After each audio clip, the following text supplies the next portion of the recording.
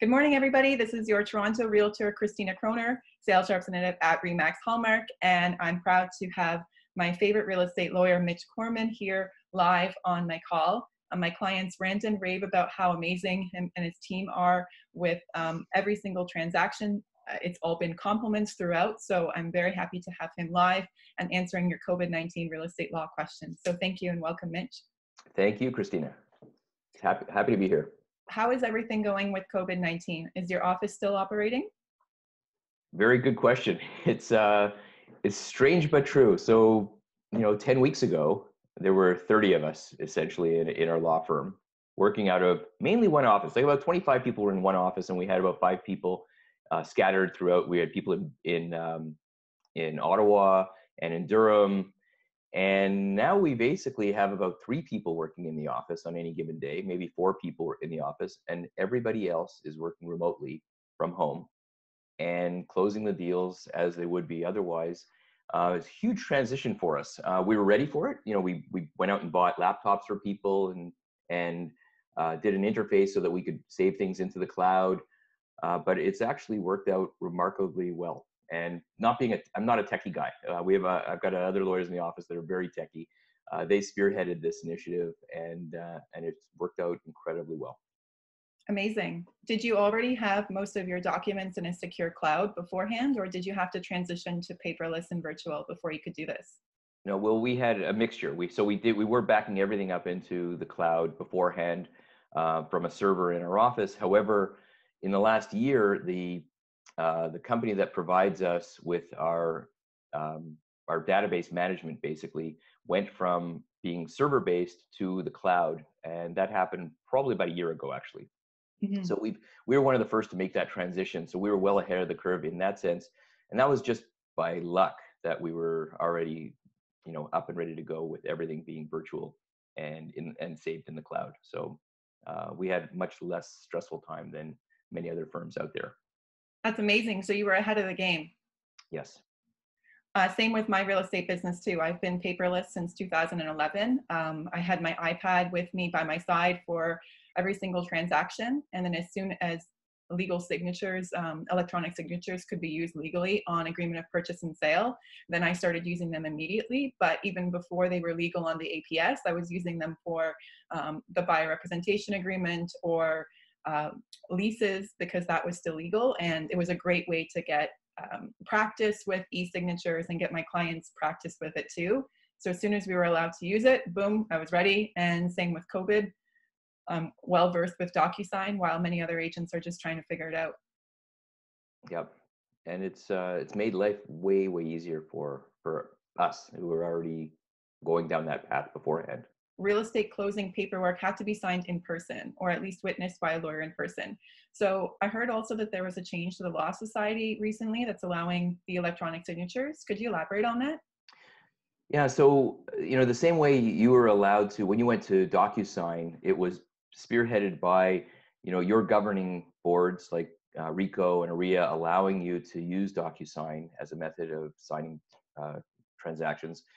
We are beholden to the Law Society of Ontario. So we can only do what the Law Society allows us to do. So even hmm. though you guys were ahead of us by actually about two years in allowing electronic signatures, and the Law Society, it was only because of COVID 19 that they're allowing us to use electronic versions of signatures. And in addition to that, we also act for a buyer on a, on a purchase transaction. We're acting for a buyer and we're also acting for the mortgage lender, so for a bank. And the bank also dictates to us how they want documents signed. So even if the Law Society allows us to use electronic signatures, if the lender says no, we still want a wet signature, wet meaning handwritten signature, we have to meet with a client or get that wet signature. Mm-hmm. Um, so that's that's been um, you know challenging for us because there's a hundred different banks out there or a hundred different lenders out there, and everybody wants something specific, and we have to you know do whatever they're asking us to do sometimes that's a signature that is just a wet signature which means it's it's handwritten sometimes it's a wet signature that is actually witnessed which might mean witnessing it in the same place in, in within the same proximity mm-hmm. sometimes it means witnessing it over Zoom or you know Google Meets is fine. And you know, and other lenders are, are just fine with us having a straightforward electronic signature like a DocuSign signature. It's um, you know, it's unfortunate that there isn't just one standardized practice for us. Um, but we adapt to whatever the lenders need and uh, with and keep within what the law society requires. Are you finding any delays with closing now that everyone has to transition to a virtual uh, workspace and uh, social distancing? Uh, interestingly enough, the delays in closing don't have anything to do with the social distancing. Uh, we've had eh, we closed a lot of deals last month. Um, we had a huge backlog in uh, in deals that were in our pipeline. So month of April, we were closing over 250 deals, and the ones that didn't close on time were all relating to wire problems. So by wire problems, when what we used to do when we were closing deals is most of them we were certifying checks sending those checks over to the law firm on the other side, and they were sending us documents. So there'd be a, lots of couriers back and forth on closing day. Mm-hmm. Now, because of COVID 19, we are electronically sending documents. We're you know emailing them because we don't have to. We were sending them physical documents because we were sending them certified checks anyway. Mm-hmm. So we, if we're sending one courier, we might as well put everything into one package and send it. So yeah. now we're not doing that anymore. So now we're wiring funds, and lawyers like all over the province are wire trying their best to wire funds and the wire departments in banks aren't weren't ready for this so you've got small wire departments you know i'm i'm visualizing I have never seen a wire department of a bank but I've, maybe there's like like an people. old switchboard yeah and you you know you prepare a wire electronically and you transmit it like so that's we were already set up to do this and we've been wiring funds for for years um, you transmit it and then it goes into the wire department. We're at TD. Mm-hmm. And then that wire department gets it and then sends it to Bank of Nova Scotia or Bank of Montreal or whoever. Mm-hmm. And then there has to be a receiving person in that wire department at the other end. And there just doesn't seem to be enough people working in these wire departments. And then wires get lost. So, oh. and we have oh. nobody to talk to. So what happens is, you know, we send a wire and it, you know, the lawyer on the other side says, well, it hasn't hit my bank account yet. Mm-hmm. And we keep checking and checking and checking, and time's ticking away because we want to close the deal by five o'clock. When the land registry office closes, we want to register by five o'clock. Mm-hmm. And by 10 to 5, it's still not there. And they're calling us back saying, Where's the money? And then we're calling our rep in commercial banking at TD, and they're saying, Well, you know, I'll try and get a hold of somebody in the wire department. And then they can't get a hold of somebody in the wire department because they can't, they don't have the phone number to the wire department. They're only allowed to send an email to the wire department.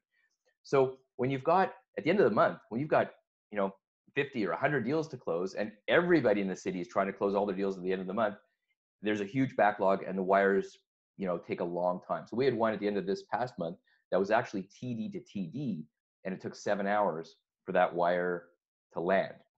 Eventually, wow. every wire did land and every deal did close, but it wasn't without frustration and heartache and stress on us as lawyers and you know we have the clients calling on the other line saying when can we get our keys when can we get our keys the movers are ready to go mm. and and then we can't release the keys until the other lawyer says yeah i got the money and i'm registering and then we close so that's that's been the biggest frustration and it's it's something that could easily be fixed it just needs more resources put into these wire departments recognizing that this is the way everything's being done now mm-hmm. um, so and, and i'm sure that the banks will fix that.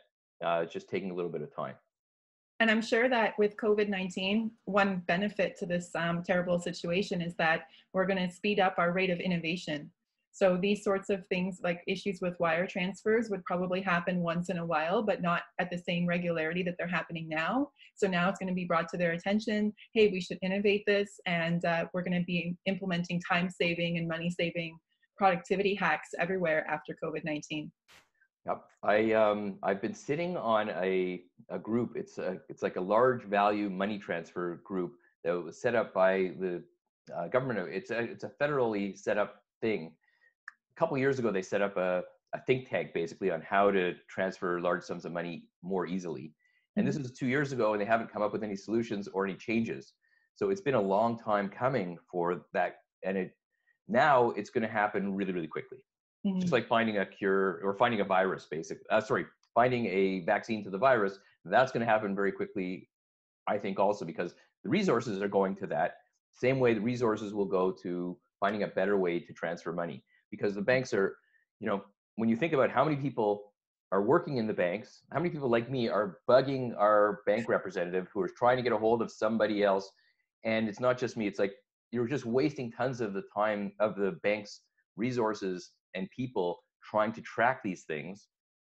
Um, you know, I think there's got to be a better way electronically, and the bank will save a lot of money once they when once all the banks figure out a better way to uh, to transfer funds. And also save money instead of having to courier actual bank drafts. Absolutely. Yeah. So this is going to be an exciting uh, thing that we'll watch and see what kind of innovation comes out of COVID.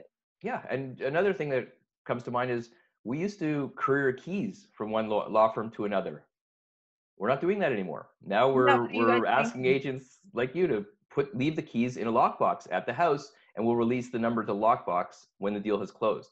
That's a great innovation, and it's so simple. Um, but it's wonderful. It's working, and uh, much easier for the clients because now we don't have to tell the clients, "Oh, you got to come back to our law firm, pick up keys, and then go to the house." While they're busy trying to move and keep their movers on track. It's um, it's much much better, much easier.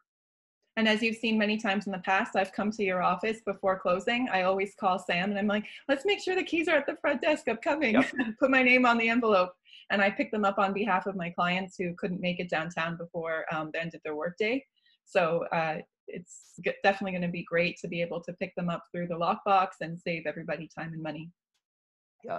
So the the good thing about COVID nineteen, if there is any good thing, is that it actually is forcing you, me, banks, everybody to work smarter with the processes that we do Mhm. and to make sure that we're giving the clients a great experience.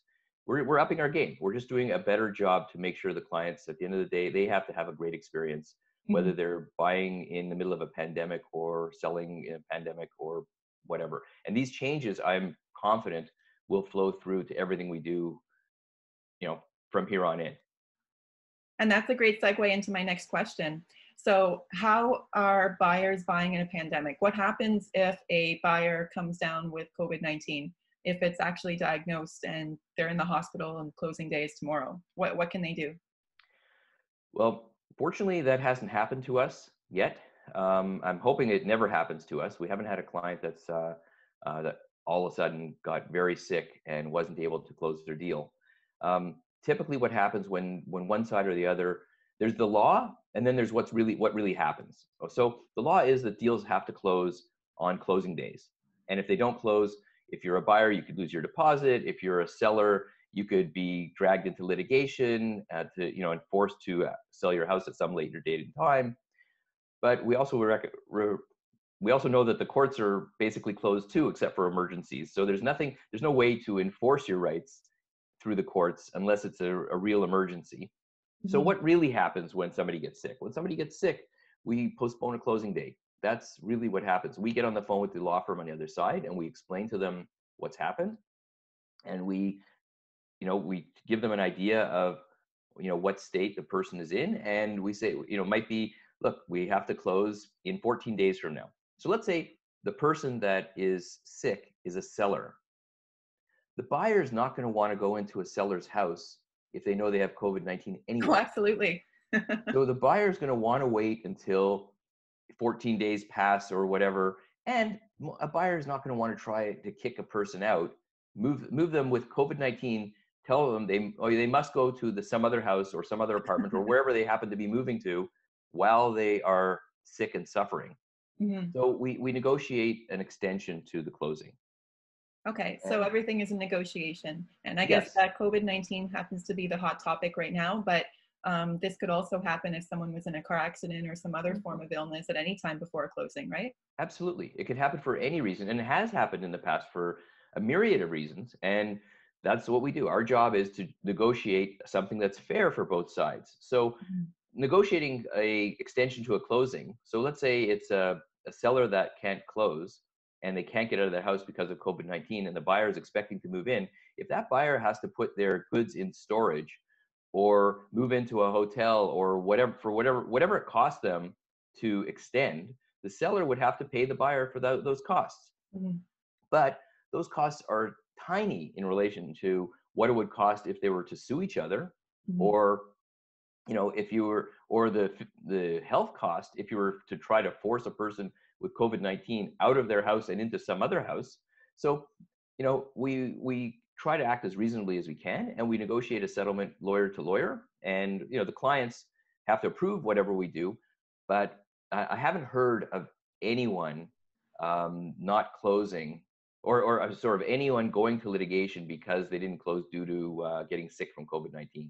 So it's, um, you know, it is, it is within the realm of possibility, but it's highly, the, pro- the probability is very, very unlikely. Mm-hmm. And if it did happen, we, we have things that we can do um, to make it better for both sides. Mm-hmm and, and hope we don't actually have a real life case example on that one in the future. Um, now that actually segues into another question that one of my clients had. Now, what about purchaser visits that are happening? Um, we know that uh, there may or may not be someone at home who could be sick with COVID.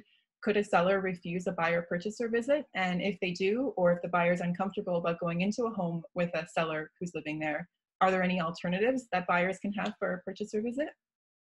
Well, first and foremost, uh, buyers are entitled to get the house or condo in the way that they saw it when it was presented to them. So the purpose of purchaser visits are really to make take measurements, make sure that the house is still in the same condition. Um, it's not to renegotiate a deal. So if a buy, if a seller refuses to allow you in, you can't walk away from a deal. It's not a breach of a deal because it's not a fundamental part of the transaction. Mm-hmm. And, and it does happen. It could happen for many different reasons, but most often right now it's happening because they don't want to have, you know, another person visiting their house or another with another agent because they're fearful of COVID-19. Mm-hmm. So if they if you're not allowed to go in for another visit and you, you would still close on that house, if there is something that you found when you did go into the house, we tell every client that we have, you know, as soon as you get the keys, go into the house, inspect the house, make sure everything works, make sure there isn't any new damage. If anything happened to that house, you have to let us know. So, for example, let's say the movers um, broke a window accidentally. That you have to take a picture, send it to us. We'll send it to the lawyer on the other side and say, hey, you know, the, your movers broke a window. We expect the seller to pay for the repair of that window or a huge scratch on the floor or whatever the, the damage might be. That's always happened. Um, but now it's it's more forefront in people's minds because they might not be able to do that inspection right before closing. But that's mm-hmm. okay. And usually what happens is the you know the buyer will go out and get a quote to fix that window and we sell it to send it to the seller and the seller pays for the repair of the window. Easy peasy. Mm-hmm. So the the other issue, the second half of your question, sorry, I um so instead of doing a visit, um, our buyers. Oh yeah, right. The other the other way of doing visits, right? Yeah.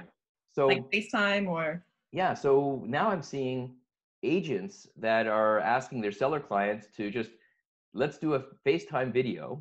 So instead of doing a face-to-face video or face-to-face visit, they're going on FaceTime. The homeowner is going on FaceTime and walking around the house with their phone and doing a video while the agent is asking, "Oh, can you show me? Can you open up that cupboard? And can you show me what it looks like the ceiling of that cupboard or can you open up the stove or can you go downstairs and basically the homeowner is doing their own video walking around the house so that the purchaser can do their last visit in that way so the purchaser feels comforted knowing that yeah the house looks the same way and everything's great mm-hmm. and which is wonderful comfort for a purchaser and but remember that e- even so when the movers go through if something does get damaged we'll fix it after closing.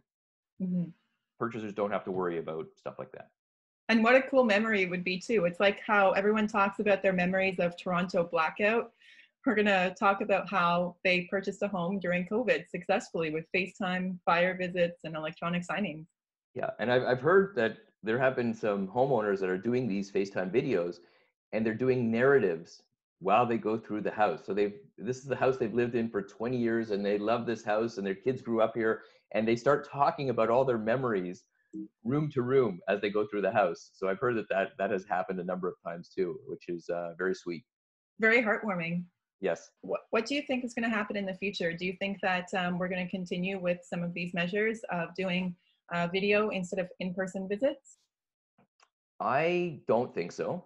I think that when we get back to normal, like if um, COVID nineteen becomes, if they find a cure or a vaccine, and and life really does get back to normal, I think people like the personal touch. I think they'll want to go back and visit. Um, they'll want to see their realtors and be out there with their realtors on every home inspection and, and looking at every house. Now, we have some people that are looking at condos, looking to buy condos without ever walking into the condo. So I've seen deals now that, you know, you get your, you know, you, you're looking at these condos virtually, and then the realtor is preparing an offer, and it's a sight unseen offer. So in, es- in essence, you're agreeing to buy the condo, but it's conditional on your being able to view it within five days. So they do the agreement of purchase and sale ahead of time, and the seller agrees to the, that agreement of purchase and sale, and then the buyer go, gets to go in and view the property for uh, one time, and then they can decide if they want to firm up or walk away. I think that that's amazing because look, every, we're trying to adapt to the circumstances we have and use whatever tools we have to continue on, and that that seems to be a great one too. Um, depending, it all depends on everybody's individual circumstance and their ind- individual fears, and we try to accommodate them as best we can relative to what fears that they're experiencing or or have.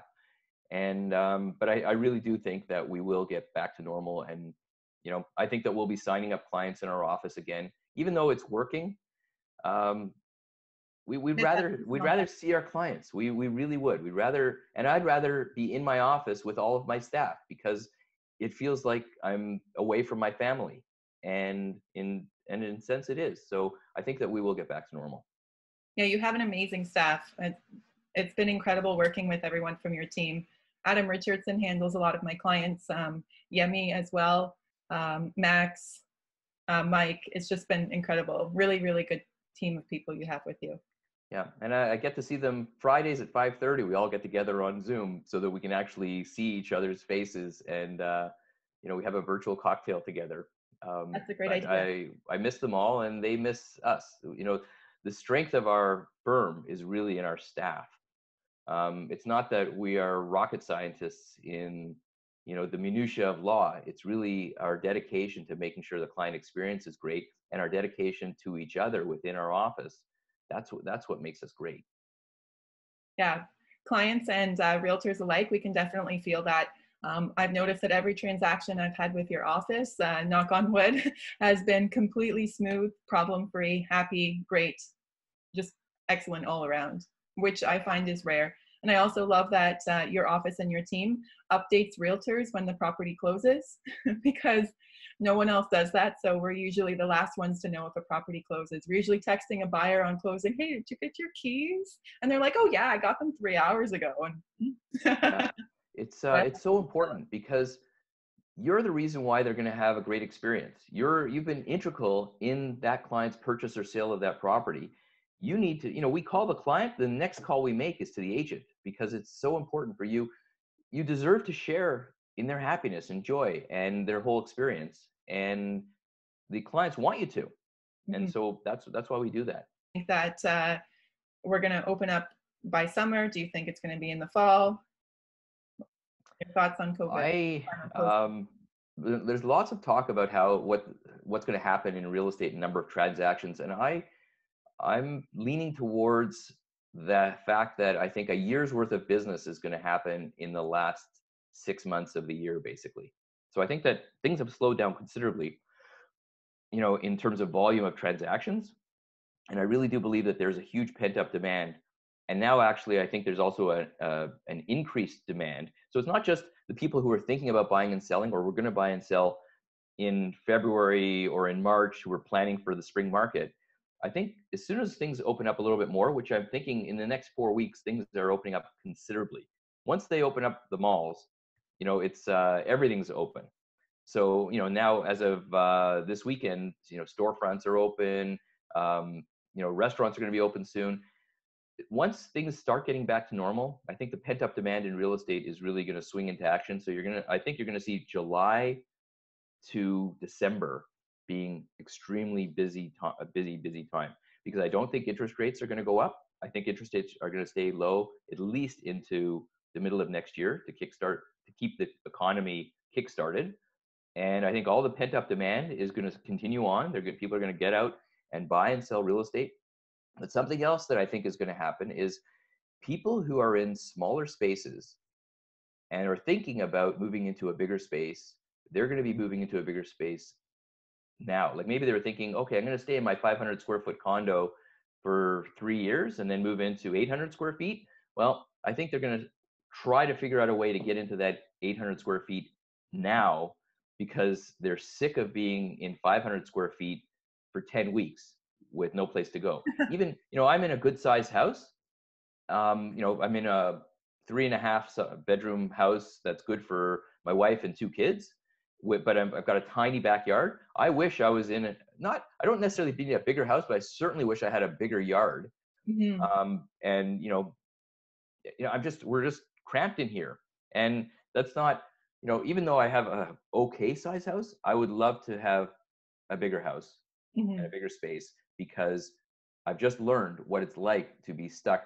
I don't know, you can't really see the room I'm in, but the room I'm in is actually it's maybe 10 feet by 10 feet. and every day on Zoom and on my meetings, everything is done in this one little room. Mm-hmm. But wouldn't it be nice? And I've got a tiny little window and not much of a view. Wouldn't it be nice if I had a little bit bigger space, you know, nicer view, um, maybe looking into a nice backyard, and you know, I think that people are really going to want to uh, upgrade what they're the place that they're living in because of COVID nineteen. And actually, within the last month, I've had a handful of my clients reach out to me saying that exactly that they want to upgrade. Um, maybe even before the summer, they just want to have additional information, whether it be renting or buying a larger property. They just need more space. Many yeah. of my clients, they live and work downtown in the financial district. Some work in law, some work in finance, and they work long, long hours. They often go out for dinner or drinks after work, and they get home just to sleep and shower and then to do that all over again. So if you live a very full, active life downtown, you're barely spending any time at home. So those clients haven't seen the need to invest in a bigger space, but now they're realizing that um, a bigger space and outdoor space is actually the most popular comment I'm getting. Um, tiny condo balconies aren't cutting it anymore. Everyone wants a backyard or a terrace. Yeah, before living in the house, we lived at the, at the distillery district, and um, and our unit there, we were in small space. It was 850 square foot, two bedroom, um, except the unit had floor to ceiling windows.